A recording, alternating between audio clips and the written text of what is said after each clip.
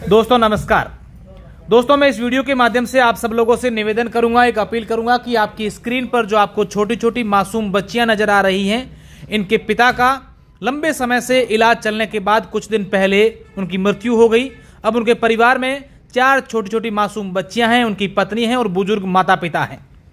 इनके घर में इनका इकलौता बेटा मूलाराम ही कमाने वाला था और पिछले दिनों उसकी मृत्यु हो गई।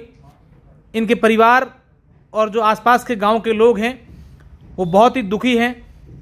इनका कहना है कि कई सालों तक एक बीमारी के चलते उनका अलग अलग अस्पतालों में इलाज करवाया गया, जिसके चलते उनकी पूरी ज़मीन, गहने सब कुछ बेचना पड़ा। लेकिन आखिरकार वो ठीक नहीं हुए। मूलाराम की मृत्यु हो गई।